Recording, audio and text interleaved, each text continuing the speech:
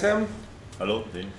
Uh, Sam, uh, why you decide to open the, your gym, Um, open your team? team. Okay.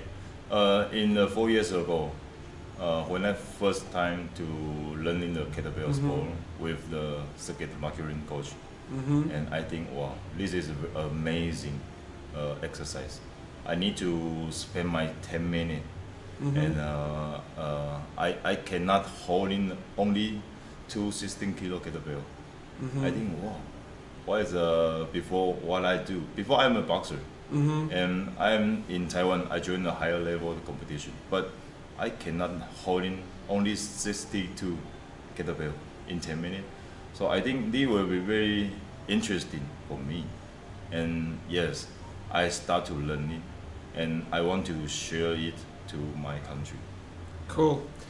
Uh, you are chief of Taiwan uh, team. Yes. So, how many people will train in Taiwan?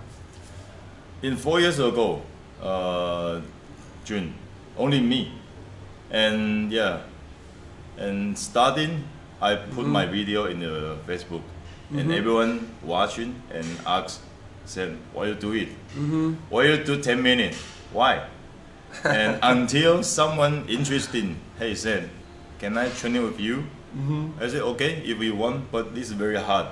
Uh, when I start to introduce the Mhm. kettlebell, and someone say okay it's hard, but you look great, so I follow you.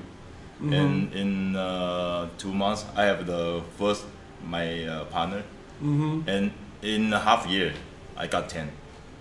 Wow. Cool. un- until now, already four years. Now in Taiwan, I think I led uh, maybe 400 people to train Cool. kettlebell sport. Yes. Do you have a f- kettlebell fitness in Taiwan? Yes, of course. Uh, in, in before me, uh, put in the kettlebell sport in Taiwan. Mm-hmm. Taiwan already have the fitness kettlebell sport, Mm-hmm. but it's not the really like we do snatch and jerk. Mm-hmm. It's using the kettlebell to do the bicep curl, squat. Why not? It's good. Yeah, it's good. But I think we should let the kettlebell sport the real Mhm. do, like a jerk, like snatch, anything. So yes, I also do fitness the kettlebell Mhm. sport in our member. So a, a lot of the mom, a lot of dad, grandpa, and uh, I have the member. He's disappeared. He cannot hear anything. He also do kettlebell sport. Good. Yes. What your goal of your team? What competition next?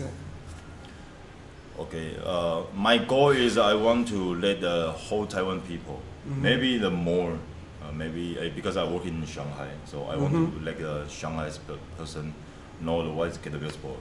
It's it's a very uh, have history Mhm. equipment, Mhm. yeah, it's traditions, and but his also is very new Mhm. uh, exercise.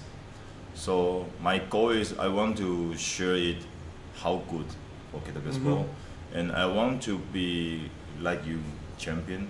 Yeah, but I'm old, but I want I will try to uh, still grow up. But now I try to training young athlete like Mhm. junior. Mhm. So I hope one one time uh, one years in Taiwan can have a world champion, maybe. I hope to. Yeah. That's a good goal. Thank you. Thank you. Thank you, Sam. Thank you.